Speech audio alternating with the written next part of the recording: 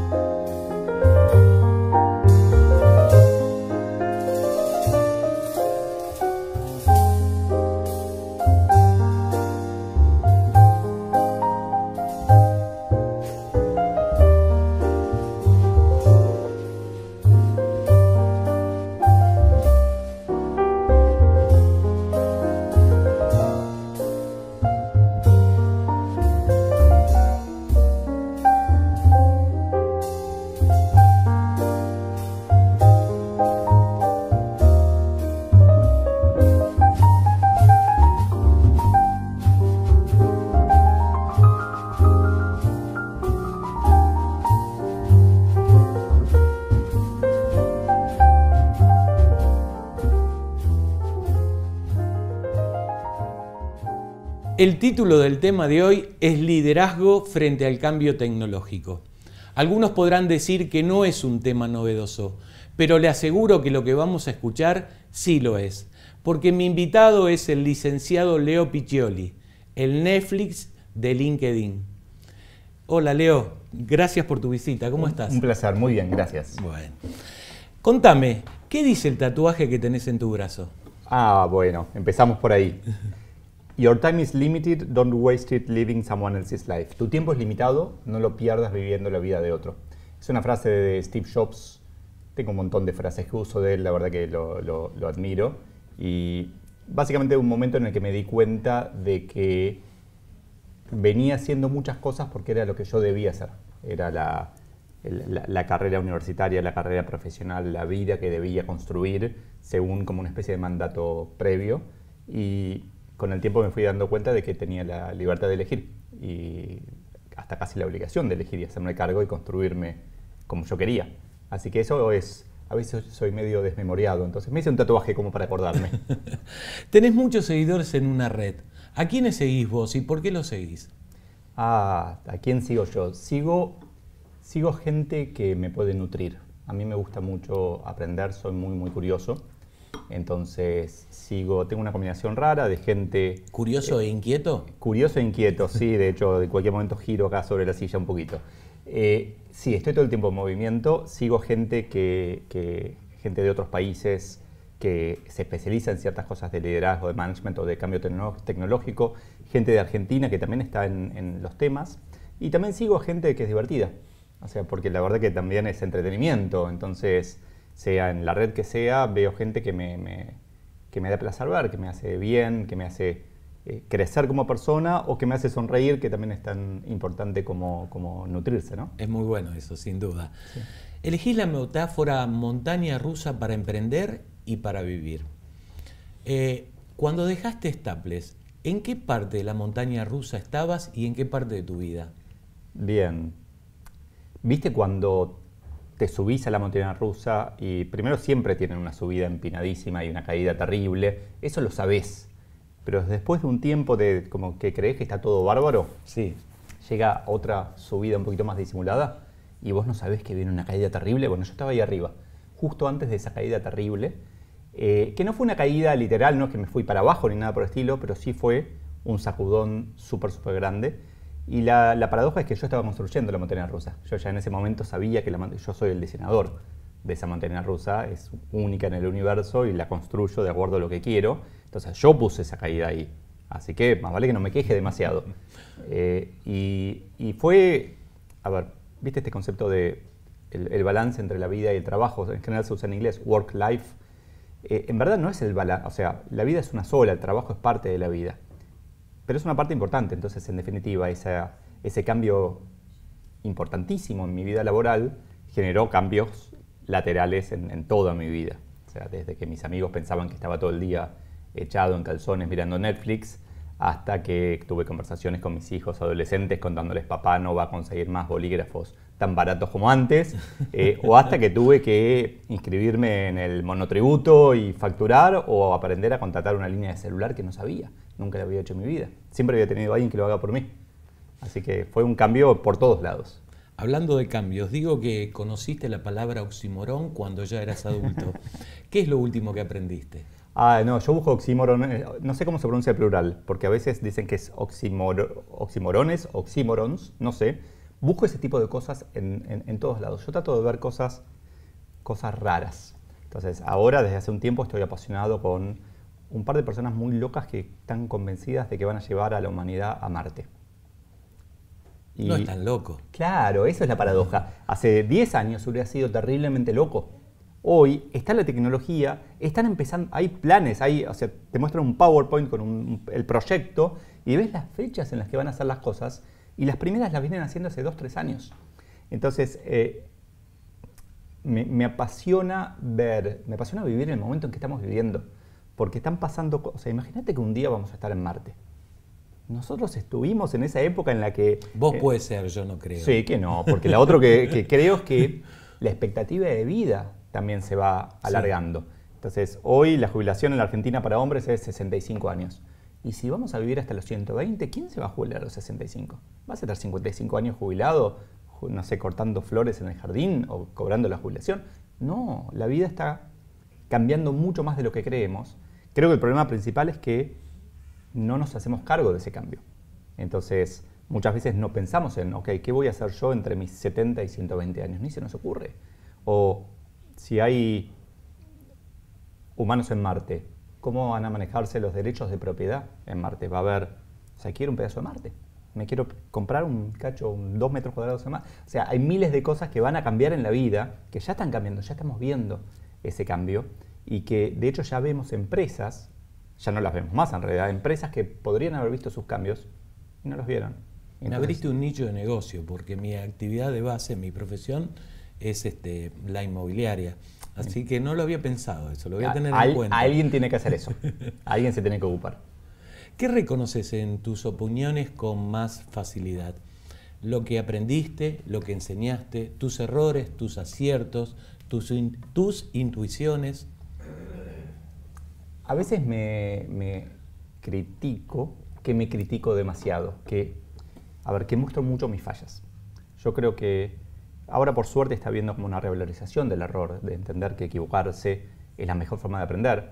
Eh, en el libro cuento un poquito que imagínate enseñarle a un nene de dos años a caminar, explicándole. Primero tenés que levantar la piernita, después estirarla, después es imposible, se tiene que caer. La forma de aprender es equivocarse, es hacer las cosas mal para después hacerlas bien.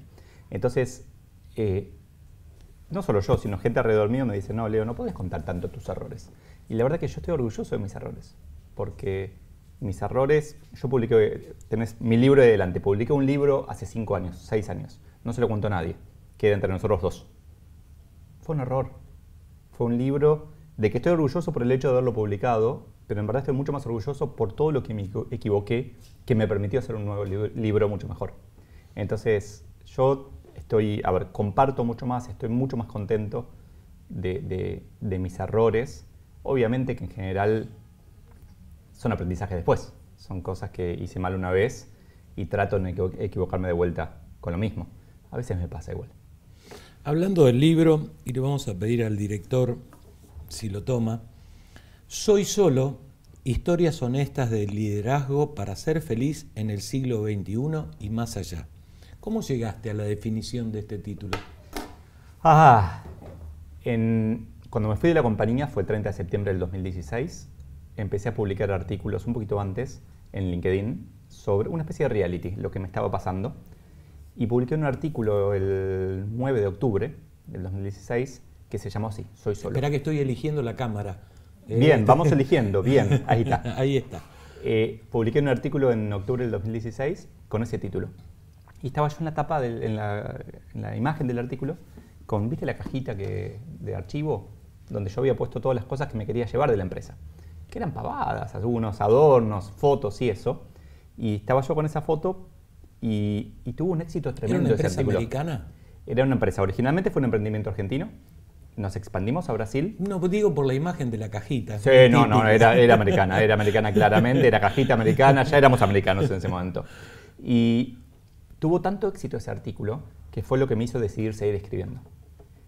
Cuando tomé la decisión de hacer el libro, yo no quería ponerle soy solo, porque tiene un montón de otras connotaciones. O sea, no soy solo.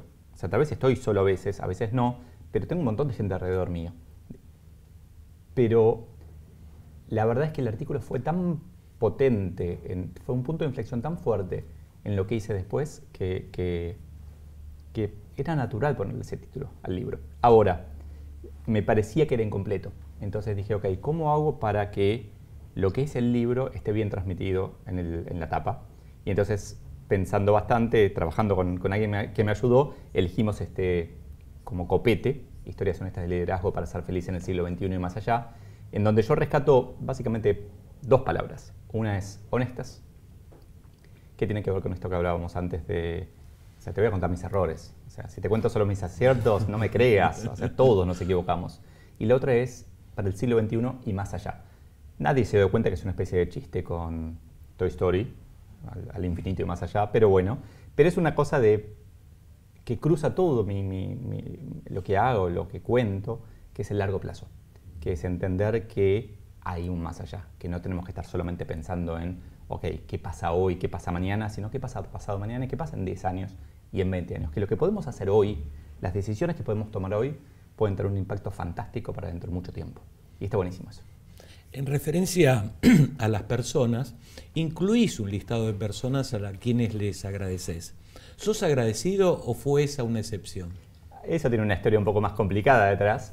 Primero, soy agradecido y trato de agradecer mucho. Gracias por la invitación.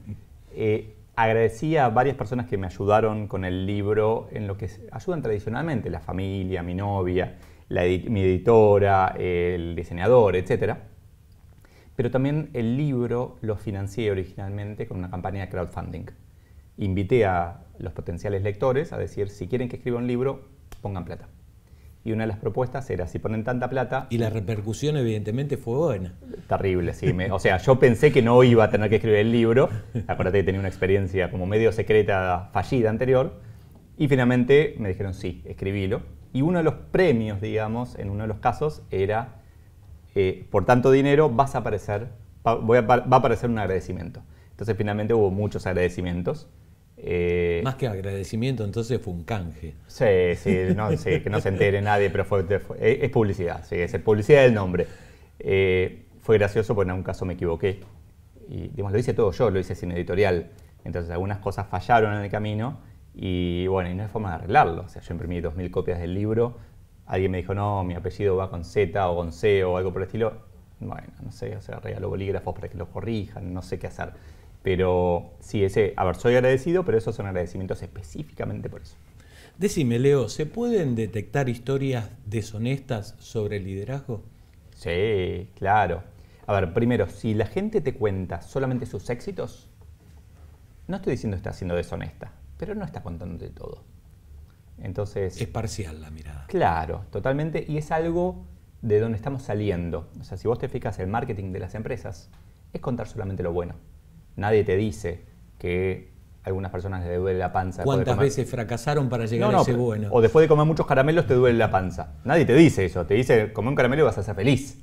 No te dicen, comes 10 y te duele la panza. Te cuentan solamente la parte copada. Entonces, eso pasa también en lo profesional vos mirás un currículum y que no, acá me echaron, ¿qué hago? Lo saco. Y tenés que entrevistar a mucha gente para trabajar conmigo en la empresa, 300, 400 personas. Entonces, como que tenía cancha con eso. Faltaba, hay un huequito acá, ¿qué pasó acá? No, no. Y bueno, siempre es algo que no quieren contar. Y ahí es donde está la riqueza de la persona. Ahí está donde lo que la gente que, que cuenta para mí, mi crítica, digamos, a los que comparten historias de liderazgo solamente de éxito, es que la riqueza está en los fracasos. Es que si yo te hago el decálogo de lo que un líder puede, cómo tiene que ser un líder, es re fácil, todos lo sabemos. O sea, hay miles de infografías en todos lados de las 10 características del líder ideal.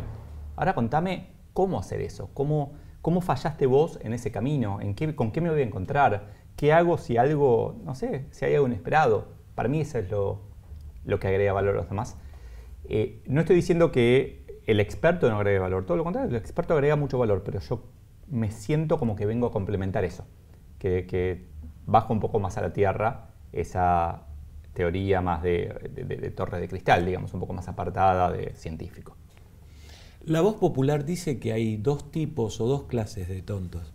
El que presta un libro, el que lo devuelve, y ahora añade el que compra un libro pudiéndolo bajar gratis de internet. No sé si llamar a eso tontería. ¿Cómo lo llamarías vos? A mí, a ver, estoy pensando cómo hacer para que sea más barato fotocopiar mi libro. O sea, mi objetivo con el libro no es ganar dinero, mi objetivo es difundirlo, es ayudar. Entonces, de hecho, hablé con la empresa que lideraba antes para que si hay demanda universitaria del libro, por ejemplo, que ellos puedan vender las fotocopias. Simple. Yo les doy el original para que impriman. Porque, y no es tontería eso. A ver, yo estoy feliz haciéndolo. El tema es que creo que se equivoca la industria. Me acuerdo, hace en el año 99 salió un sistema de, para compartir archivos que se llamaba Napster.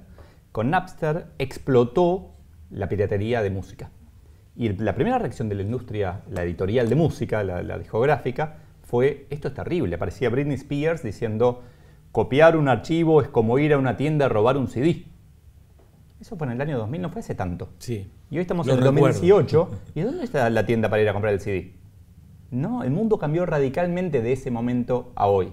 Para mí esto es lo mismo. Para mí, eh, por eso hice un libro de tapadura, un papel bueno, 386 páginas, 800 gramos pesa. Eh, lo pesé, te juro. Lo hice porque quiero que... Está bueno, a ver, el contenido para mí está buenísimo, yo estoy orgulloso de lo que hice. Si vos querés solo el contenido, saca una fotocopia, no tengo problemas. Compralo en, Amazon, online si querés. Obviamente no tengo problemas. Ahora, hice un producto que valga la pena tener. Entonces, eh, para mí, estoy tratando de, ayudar de alguna manera a la industria editorial con una idea un poco distinta. Cuando hablé con las editoriales para hacer mi libro tapadura, ¿qué me dijeron? En Argentina no se puede hacer tapadura. ¿Por qué? Porque el mercado no lo soporta. Ay, cuando me dicen no se puede, me encanta, me encanta ese momento y digo, no se puede, ahora vas a ver, no solo tapadura, sino le voy a poner el señalador que está por acá. Sí, le voy a poner el señalador dorado para recordarte que se puede con tapadura y con señalador, que en tapa blanda no lo podés poner. Entonces, eh, creo que el objetivo, de hecho, si nos, nos, escucha alguien que, si nos está mirando alguien que quiere publicar un libro, uno no publica un libro para ganar plata. No, no tiene sentido. La plata se hace de otra manera. El libro es para compartir. Tal vez ganas plata, pero si lo publicas para ganar dinero, vas a tener esas actitudes de decir, eh, por favor no lo copien o enojarte cuando alguien lo copia. Yo estoy feliz de que lo, de que lo copien. O sea, obviamente prefiero que lo compren, pero prefiero que lo copien a que no lo tengan. En realidad se podría traducir, prefiero que lo lean. ¿no? 100%. En copia o comprado. 100%, sí. Eh, Leo, para vos el celular, ¿es un aliado necesario, un dispositivo que genera adicción o ambas cosas? Pero me lo contestás después del corte, por favor. Hace 30 años no existía la web. Hace 20 años no existían las redes sociales. Hace 10 años no existían los smartphones ni las tablets. En los últimos años, una de cada cinco parejas se conoció en las redes. Si Wikipedia fuera un libro, tendría más de 22 millones de páginas. ¿Conocías estos datos? ¿Y qué sabes de nosotros? Egresaron del ISEL más de 500 profesionales. Cada año, muchas personas se interesan en conocernos. Cada mes acercamos a nuestros estudiantes y egresados diferentes propuestas laborales para su desarrollo profesional. Cada semana emitimos un programa de TV producido por nosotros. De los matriculados del Colegio Público de Martilleros y Corredores, un alto porcentaje egresó del ISEL. Cada día aprendemos juntos. Pero estos no son solo datos. Son cambios en las formas de enseñar, aprender y trabajar. No hace tanto el trabajo era diferente. Los modos de hacer y de pensar se transformaron. Pero la transformación no es nueva. Lo nuevo es el contenido de la transformación. Persisten aquellos que piensan, se repiensan, se redefinen y se reinventan. Se necesitan hombres y mujeres para hacer algo distinto. Se necesitan perfiles emprendedores, innovadores, creativos. capaces de pensar en los otros y con los otros y actuar de manera transparente. Marketing, recursos humanos, relaciones públicas, martillero y corredor público son las carreras que ofrecemos. La información está al alcance y producir conocimiento es tarea posible, apasionante y de todos. En el ISEL sabemos que estudiar da trabajo. Antes del corte te preguntaba si para vos el celular es un aliado necesario, un dispositivo que genera adicción o ambas cosas. Tengo dos respuestas. La primera es la fácil, que es ambas cosas, claro. Hay gente adicta al celular y hay gente que lo aprovecha y la mayoría de la gente es las dos cosas al mismo tiempo. Pero te agrego un dato más. Muchas veces discutimos, sobre todo los que somos un poco mayores y vivimos épocas en donde no existía el celular, por ejemplo, discutimos la existencia del celular. Entonces me hace acordar a cuando leía los inicios de la televisión, en donde decían la televisión es una caja boba que nos va a hacer a todos bobos. Chupete electrónico. Bueno, chupete electrónico. Nadie hoy discute si la televisión eh, genera adicción o no genera. Todos sabemos que a veces genera adicción, a veces no. Todos sabemos que educa y entretiene. Entonces, para mí pasa lo mismo con el celular y con toda la tecnología. Eh, hay cosas que son y punto. Entonces, está buenísimo, discutamos un poco sobre si es, es adictivo o no y hagámoslo lo más sano posible pero que el celular existe y va a seguir existiendo y no se lo vas a quitar a mis hijos de las manos, porque no hay forma, porque probé.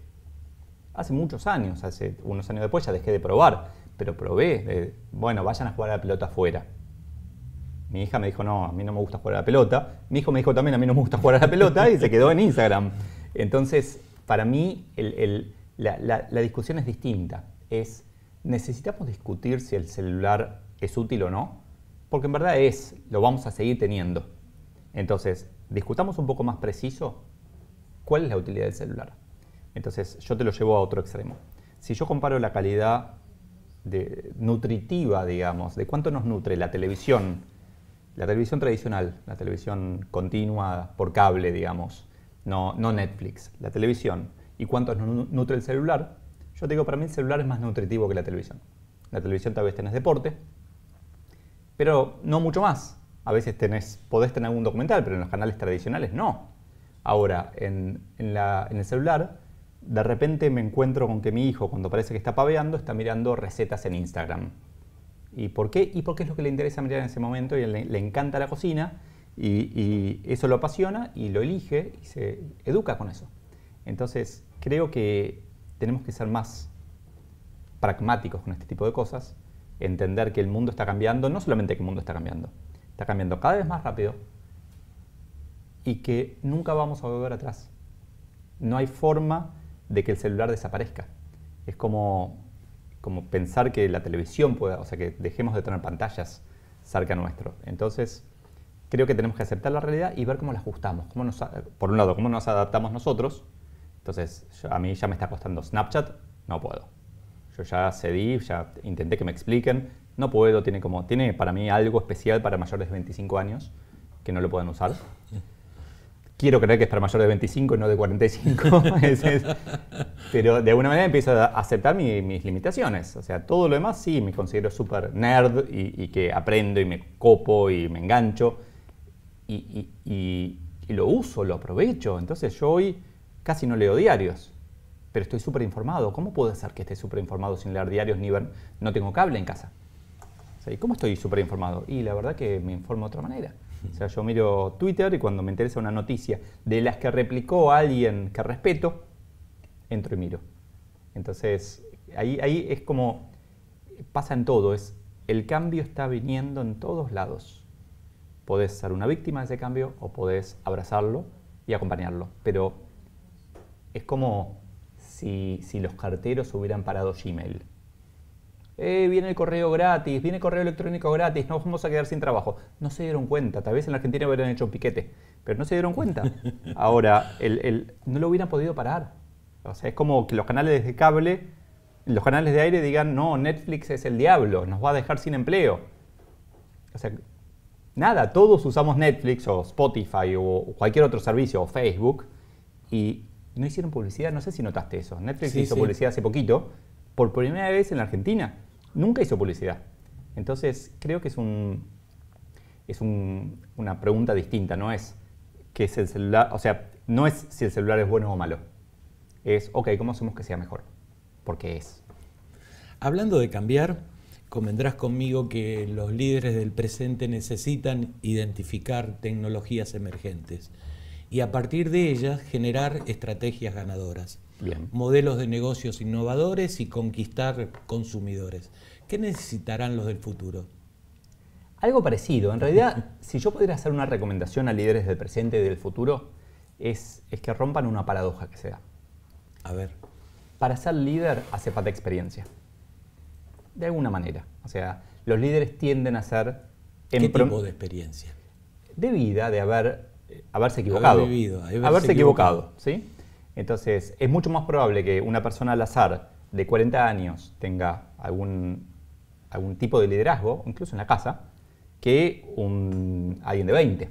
Simplemente porque pasó más tiempo y tuvo más experiencia. Pero esa misma experiencia es el corsé que evita que crea en lo que está pasando, que entienda lo que está pasando. Entonces, el tipo más grande tiene la experiencia para poder liderar, pero es el, el pibe de 20, el pibe de 15, él o la, que tiene la idea de cómo cambiar el mundo. Déjame que te interrumpa. Leí un artículo tuyo donde decía que las costumbres, o decías, digo, que las costumbres eran eh, de alguna manera los que generaban el atraso, nos encorsetaban. ¿Eso sucede siempre o por algunos casos en particular?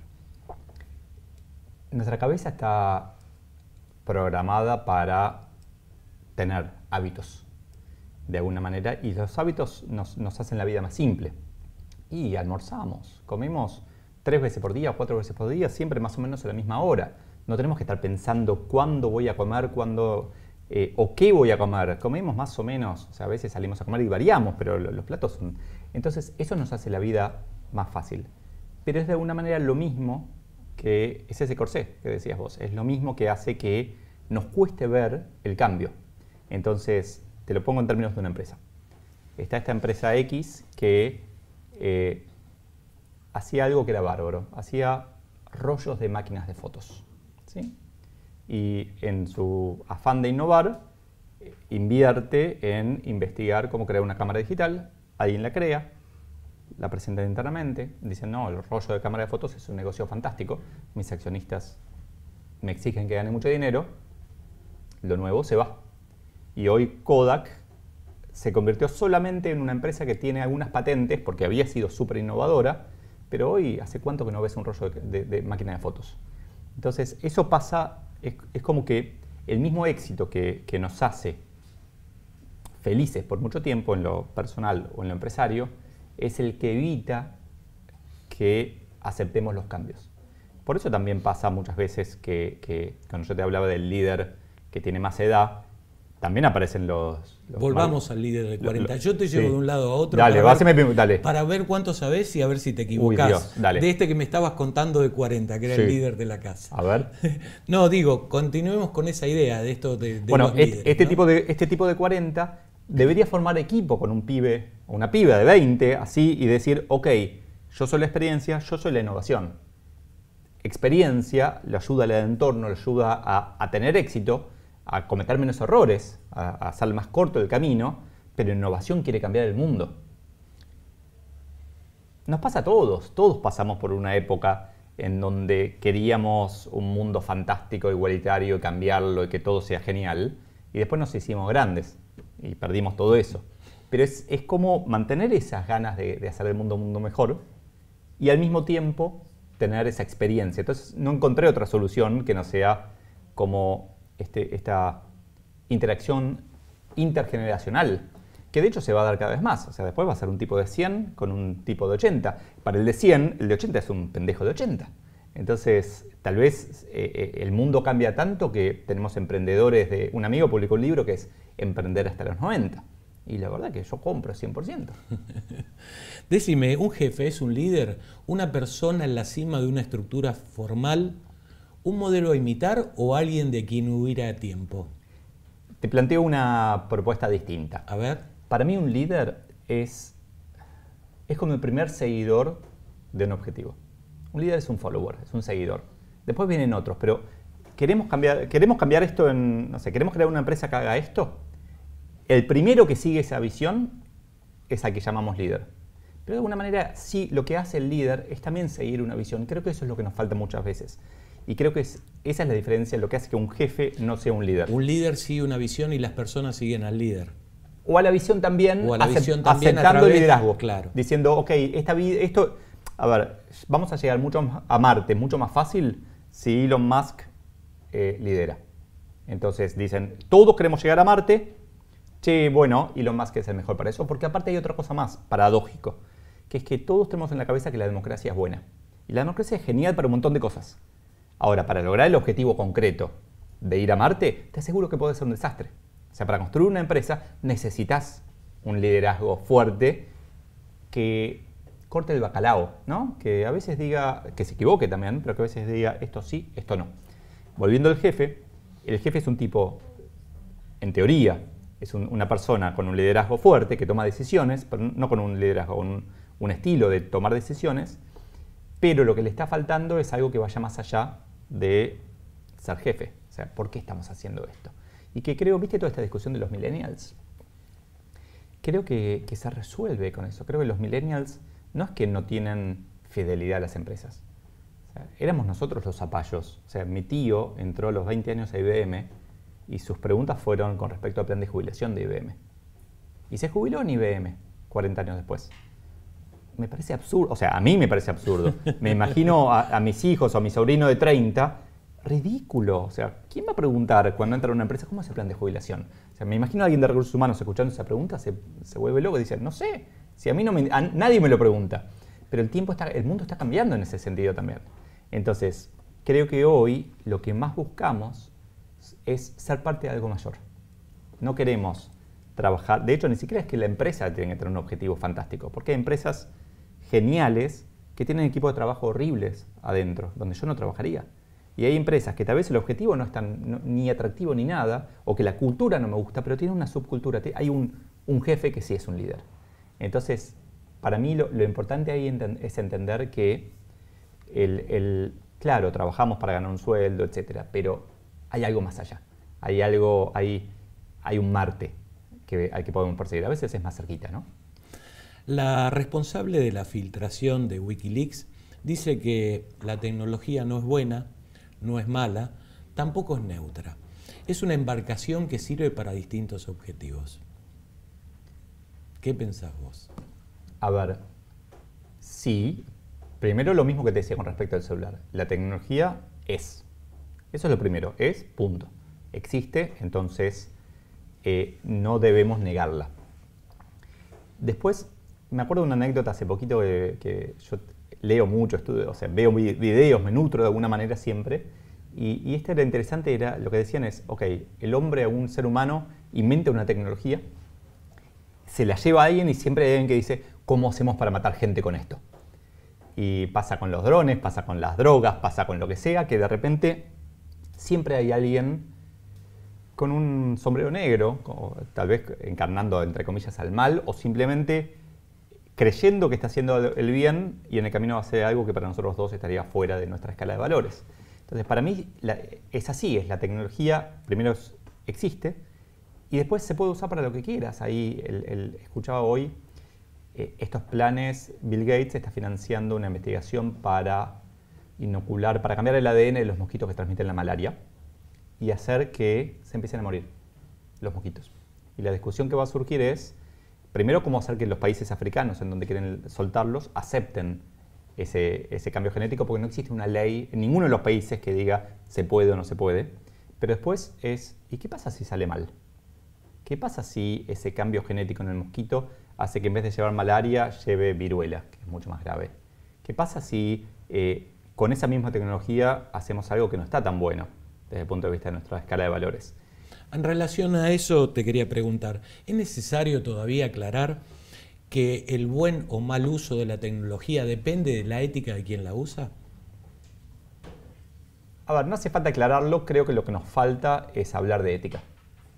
Nos falta, acá en la Argentina en particular, nos falta pensar un poco, o sea, tener estas conversaciones. Entonces, en vez de discutir tanto, para mí como que la política es mucha espuma muchas veces, es como discutamos por, por discutir, pero en vez de eso es bajar en concreto y tener discusiones no, no necesariamente científicas, pero sí de valores, es decir, esto es más importante. Es más profundo entonces. Claro, totalmente, eh, es más profundo, es más de largo plazo, es más duradero, es de alguna manera es volver a, las raíces de, de Alberti o incluso anteriores, en donde por qué estamos todos juntos como Argentina y qué es importante para nosotros y qué no. Y de ahí se deriva todo, no es tan difícil. Pero eh, hoy, a ver, en Argentina no estamos tan avanzados todavía tecnológicamente, pero la verdad que se empareja la tecnología. son cada vez más, digamos, Netflix llegó a la Argentina el mismo día que llegó a, no sé, a Francia seguramente, no lo sé. O sea, pero llegó muy rápido. O sea, la tecnología se, se esparce mucho más rápido que antes los mosquitos, estos mosquitos de Bill Gates, o sea, podrían llegar acá en cualquier momento. Entonces es algo que deberíamos dedicarle tiempo a, discutir, deberíamos ponernos a conversar un poco más sobre, no que está bien y que está mal, porque me parece que ese es el enfoque correcto, eh, incorrecto, es, el enfoque correcto es cuál es la escala, qué es más importante. Es, es más importante salvar la vida de los chicos. ¿Y cuál es tu escala? Ah, qué pregunta. No sé, necesito discutirlo. Estoy dispuesto a discutirlo porque... A ver, Pero supongo que te habrás preguntado. 100%. A ver, para mí la violencia física es inaceptable. Entonces, no me imagino... Es el último recurso. No me gusta la violencia ni de privados ni del Estado. Entonces, yo me alejo de todo tipo de violencia física. No me imagino siendo amigo de alguien violento. A ese punto. No, no, no que yo no, sería violento. Me parece inaceptable, teniendo la capacidad intelectual y, de hablar y de escuchar, que no la usemos. Eh, pero después de eso no tengo tanto, tan claro, sea, me gustaría tenerlo, sí lo tengo claro en cuanto a qué es importante para mí en general. O sea, para mí, familia, eh, compartir, compartir conocimiento, digamos, colaborar con la sociedad, eh, y sabiduría en general, aprender, que está todo interrelacionado, son tres temas muy, muy importantes. Entonces, la violencia es un no rotundo y los sí rotundos son estos, pero en el medio hay miles de cosas. Hay grises. 100%, de hecho, eh, hago un chiste ahí en, el libro, en un lado, que es, hay dos tipos de personas, los que ven todo blanco o negro y los que saben que hay infinitos tipos de grises. Entonces, para mí, en verdad no hay dos tipos de personas. O sea, tenemos que ser conscientes de que hay infinitos tipos de grises, que hay muy poquitas cosas que sean blancas o negras rotundamente. Sí, es cierto que Samsung copió Apple y salvando la distancia entre empresas e individuos, ¿podría decirse que una de las formas de evitar eh, fracasos o errores propios sería copiar el éxito ajeno? Sí, sin duda. Es, es todo copia. O sea, Samsung copia a Apple, pero yo te podría traer una Palm. ¿Te acuerdas de las Palm? Sí. Apple copió, a Palm. Y Palm copió a Apple originalmente el Newton. Y el Newton copió a, no sé, una tableta de piedra de Moisés con los mandamientos. Pero en definitiva, eh, creo que... De allá venimos. Claro, eh, creo que de alguna manera estamos eh, pensando quién copia a quién, cuando en realidad si vos haces la Mona Lisa, en verdad la Mona Lisa es una copia de otro, de otro cuadro hecho distinto, hecho tal vez en ese momento ni siquiera mejor, hoy mejor. Entonces, eh, yo no me centraría tanto en si copiar está bien o copiar está mal. De hecho, volvamos al libro, copien mi libro, fantástico. Me encantaría que me citen si lo copian, ¿no? Pero eh, creo que sí, ahí hay que ser honesto.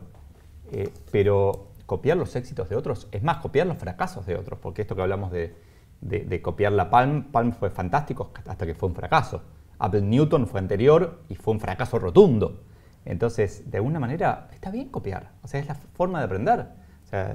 Mi amigo hizo un asado, le salió mal, lo voy a copiar, mejorado. Entonces, es como, para mí es, natural, es un poco menos, hay que ser menos orgulloso de eso. Está bueno respetar de alguna manera y decir, lo copié.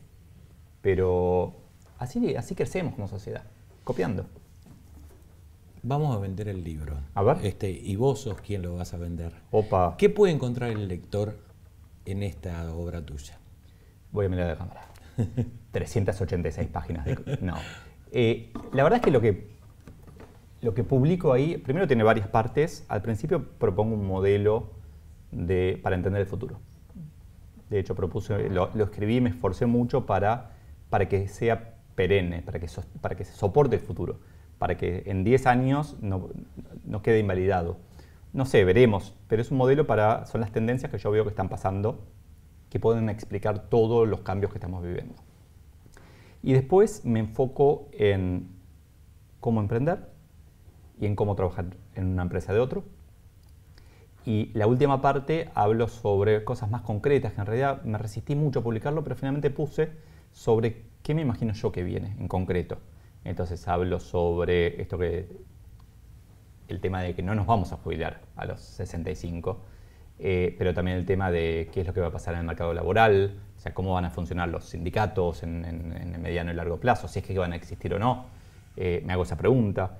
¿Qué pasa con el Estado? O sea, a mí cuando me dicen el Estado está sobredimensionado, debería reducir el 20% de, de la gente, yo digo, no, tal vez el Estado debería quedarse con el 20% de la gente. Y la verdad que es duro de decir, pero es peor hacerse el distraído. O sea, acá creo que el mensaje principal que pasó en el libro es, no nos hagamos los distraídos con las cosas, seamos protagonistas. Sepamos... ¿Eso es lo que quisiste transmitir? Todo el tiempo. Sepamos que hay cosas que vienen que por esconder la cabeza como el avestruz no van a dejar de venir. Entonces, soy taxista, Uber viene, me ducho, lavo el auto. Punto. Le doy caramelos al conductor, al pasajero o lo trato bien de mínima. Pero no sigo haciendo lo mismo pensando que no va a venir. Soy un canal de televisión, Netflix viene, mejoro la programación o me reinvento. Soy un cartero, Gmail viene, empiezo a entregar paquetes. O busco un trabajo, me pongo un kiosco. Pero no me hago el distraído, porque hacerse el distraído es garantía de que vas a fallar. Garantía de que después vas a estar, haciendo un piquete pidiéndole al Estado que te resuelva los problemas, cuando en realidad todos, ninguna de estos cambios tecnológicos vienen de un día para el otro. Van pasando, lo vamos viendo eh, y, hoy la gente pasa más tiempo en Facebook que mirando de televisión. Entonces, pero no fue de un día para el otro, fue hace siete años que viene como creciendo paso a paso. Entonces mi mensaje acá es, si yo pudiera resumir en dos cosas que cruzan todo el libro, uno es lo que decíamos del largo plazo y el otro es, hagámonos cargo, no seamos víctimas. Eh, ya, tenemos, ya somos bastante víctimas en Argentina en general. El, para mí tocar la bocina es ser víctima, hacer un piquete es ser víctima. No estoy diciendo que no nos quejemos, quejémonos todo lo que querramos, pero hagamos algo respecto a nosotros. No esperemos que otros nos resuelva el problema, porque es muy cómodo eso. Sin duda. Hablando de, plazos, digo que corto, mediano y largo plazo son segmentos temporales o etapas eh, de un proceso en los que hay que, cambiar algo. Si hay que sacrificar algo, ¿el corto plazo es lo que se sacrifica? A nadie le va a gustar mi respuesta, pero sí, sin ninguna duda. Siempre hay que priorizar el largo plazo para mí. Tengo la, tengo la duda yo interna de si lo digo porque el argentino es muy cortoplacista. Y lo digo como para contrapesar eso. Y si fuéramos un poco más coherentes, tal vez yo sería un poco menos talibán con el largo plazo. Pero a mí lo que me pone loco es, yo me imagino la situación esta en donde tenemos que construir, no sé, una fábrica de comida y hay que invertir un montón de dinero y hay que entrenar gente, hay que hacer un montón de cosas. Y viene alguien y dice, pero yo no tengo para comer. Claro, por eso estamos construyendo la fábrica de comida para que nunca más no tengas para comer. No, pero yo necesito la comida ahora. Entonces, ¿cómo resolvemos ese dilema? Hay que hacer las dos cosas. No se puede hacer las dos cosas los recursos son finitos, tanto el dinero como la mano de obra. Entonces hay que elegir. Y yo creo que siempre, hace muchos, muchos años en Argentina elegimos el corto plazo. Siempre priorizamos el corto plazo. Entonces, eh, si priorizáramos el largo plazo, no es fácil. Una crítica que yo me hago desde afuera es, claro, Leo, vos estás en una posición cómoda porque sí tenés para comer. Y es cómodo, sí, claro, tengo una posición cómoda. No, no, no, no tengo forma de cambiar eso. Ahora, creo que si metemos más largo plazo en nuestras conversaciones, creo que las empresas que vemos exitosas, de hecho la empresa que lideré yo era, era así, las empresas que vemos exitosas son empresas que priorizan el largo plazo por encima del corto. Entonces mi recomendación es entender, porque ya lo dijimos antes, los plazos son más largos. Si vamos a vivir hasta los 120 años, y, y ya estás a tus 20 años quejándote para que alguien te dé de comer, ¿vas a estar 100 años así? ¿Realmente 100 años? Porque va a ser 100 años de verdad. ¿eh? Leo, asegurás que las emociones y el aprendizaje pasaron a ser fundamentales en los ámbitos laborales. ¿Cuándo comenzó a ser así? Pero me lo contestás después del corte. Dale, buenísimo. Hace 30 años no existía la web. Hace 20 años no existían las redes sociales. Hace 10 años no existían los smartphones ni las tablets. En los últimos años, una de cada cinco parejas se conoció en las redes. Si Wikipedia fuera un libro, tendría más de 22 millones de páginas. ¿Conocías estos datos? ¿Y qué sabes de nosotros? Egresaron del ISEL más de 500 profesionales. Cada año, muchas personas se interesan en conocernos. Cada mes acercamos a nuestros estudiantes y egresados diferentes propuestas laborales para su desarrollo profesional. Cada semana emitimos un programa de TV producido por nosotros. De los matriculados del Colegio Público de Martilleros y Corredores, un alto porcentaje egresó del ISEL. Cada día aprendemos juntos. Pero estos no son solo datos. Son cambios en las formas de enseñar, aprender y trabajar. No hace tanto el trabajo era diferente. Los modos de hacer y de pensar se transformaron. Pero la transformación no es nueva. Lo nuevo es el contenido de la transformación. Persisten aquellos que piensan, se repiensan, se redefinen y se reinventan. Se necesitan hombres y mujeres para hacer algo distinto. Se necesitan perfiles emprendedores, innovadores, creativos, capaces de pensar en los otros y con los otros y actuar de manera transparente. Marketing, recursos humanos, relaciones públicas, martillero y corredor público son las carreras que ofrecemos.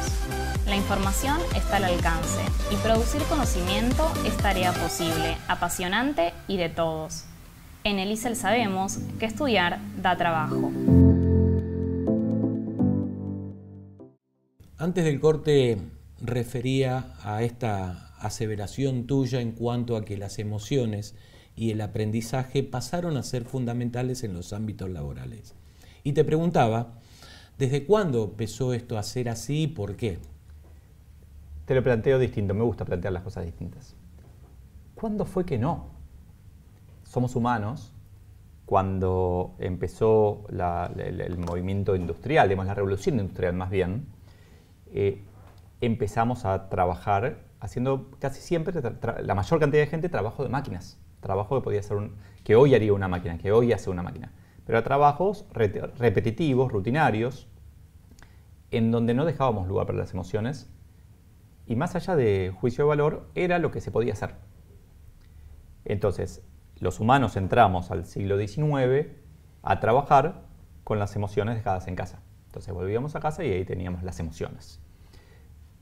El mundo evolucionó, las cosas que se pueden automatizar se están automatizando, de hecho esa es una de las cinco tendencias que yo veo, todo lo que puede ser automático va a ser automático.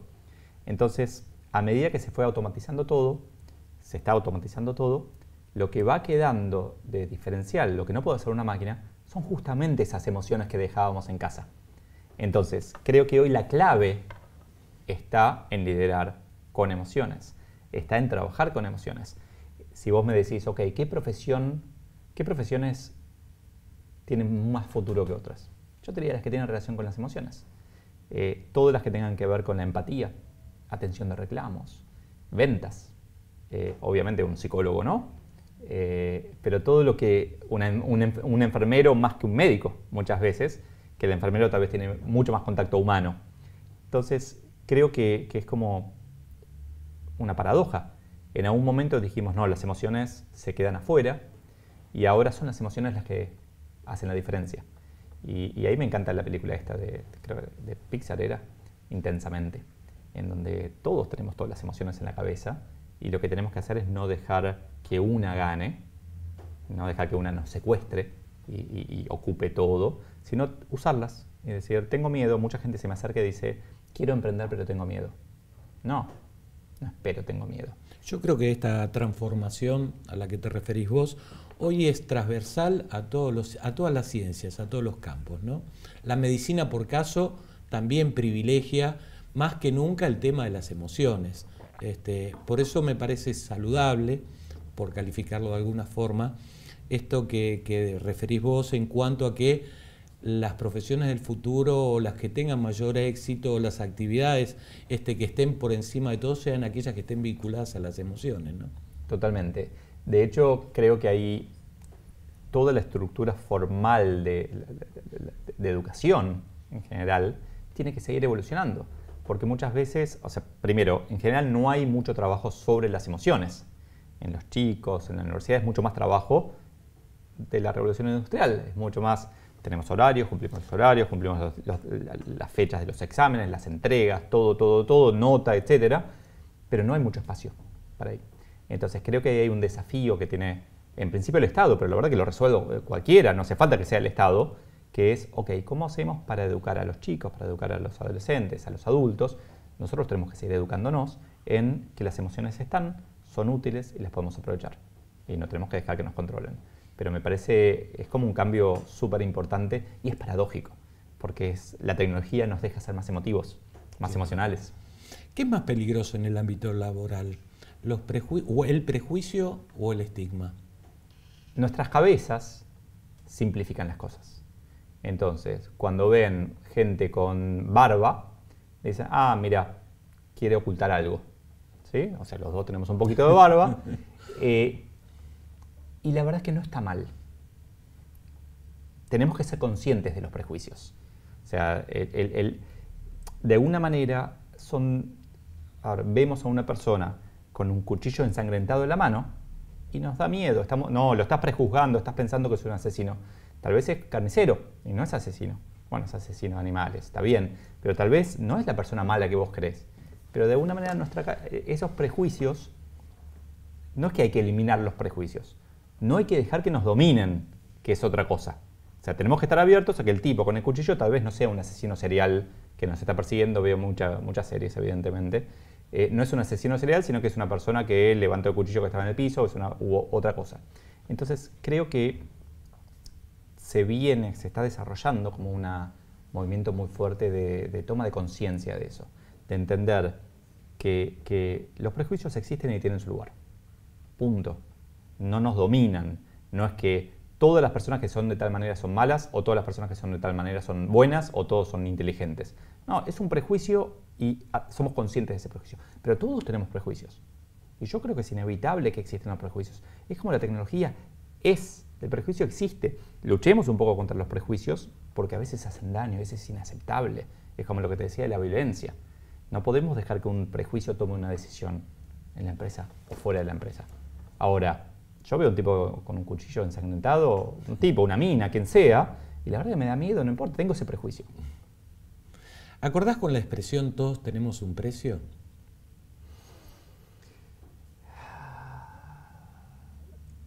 Tiendo a creer que acuerdo con esa expresión, estoy tratando de pensar algún ejemplo en el que no. Eh, trataría de ser un poco más amplio y no le pondría un signo pesos a ese precio. Pero de alguna manera, pongámoslo de esta manera, todos queremos algo, no necesariamente es tangible, no, es con valor económico, todos queremos algo, si querés ser felices. Eh, la pregunta es si estamos dispuestos a dar cualquier cosa para eso. Y yo te digo, yo no. O sea, yo no estoy, hay ciertas cosas que no voy a dar nunca. Hay ciertas cosas que, eh, que probablemente nunca, nunca dé para lograr mi felicidad. O sea, no sé, no, no castigaría gente que quiero porque me quitaría felicidad por ejemplo. Entonces yo creo que hasta cierto punto sí tenemos un precio, estoy evolucionando ahora el razonamiento, hasta cierto punto sí todos tenemos un precio, pero creo que también nos hace mucho daño pensar en términos de, lo veo en las empresas, en donde cuando una persona se quiere ir o dice que se está por ir, le ofrece más dinero. Me parece nada, inaceptable, ¿por qué no me lo diste antes? A mí, o sea, eh, o cuidas a la gente o no cuidas a la gente, pero solamente la cuidas cuando te, cuando te amenazan. Eh, para mí puede pasar una vez en la vida, pero si en la empresa trabajan así es como es pensar que todos tienen un precio y que voy a tratar de pagar lo menos posible. Como que hay muchas más cosas que el precio literalmente, que el precio económico. Hay, eso que hablamos de la visión, de los valores, eh, creo que también se, eh, se, aplica a las empresas y también a las personas. Entonces, hasta cierto punto sí, en cierto entorno, pero no para todo. Leo, para cerrar, ¿qué ves entre un optimista y un pesimista? Veo dos personas iguales, una que tiene más chance de ser feliz que la otra. Nada más que eso. Creo que, que eso. que el optimista tiene, y mira, me- voy sonriendo cuando hablo, creo que el optimista tiene muchas más chances de ser feliz. Eh, y creo que no por eso, o sea, yo soy optimista y soy precavido. No es que- Y dejando de lado la felicidad y volviendo un poco al tema que nos convoca de líderes, ¿el optimista tiene más posibilidades de alcanzar cosas o de lograr el- llegar a Marte? Sin ninguna duda, el pesimista no va a llegar a Marte nunca. El pesimista, tal vez el optimista puede ser el líder y el pesimista la persona que está al lado que le dice qué es lo que va a fallar para prevenirlo y para evitarlo. Pero no me imagino un pesimista líder. Yo no seguiría un pesimista. Yo seguiría a alguien que está convencido que el mundo puede ser mejor. Entonces creo que no está mal ser pesimista. No es un- no estoy juzgando. Simplemente al- a la persona que no cree que el mundo puede ser mejor, el mundo me refiero a cualquier cosa, tal Sí, vez sí. es simplemente alguien que hace que esta sala sea un poco Te más interpreto. linda. ¿sí? Yo prefiero seguir al optimista que al pesimista y me parece que a la mayoría de la gente le pasa eso, que seguir a un pesimista eh, es medio depre, ¿no? Sí, creo que sí. Prima facie sí. Sí, sí. Gracias, espero que hayas estado cómodo. Súper cómodo, muchísimas gracias a vos. A vos también, gracias por acompañarnos. Te espero la próxima semana. Te deseo tiempo y buena vida.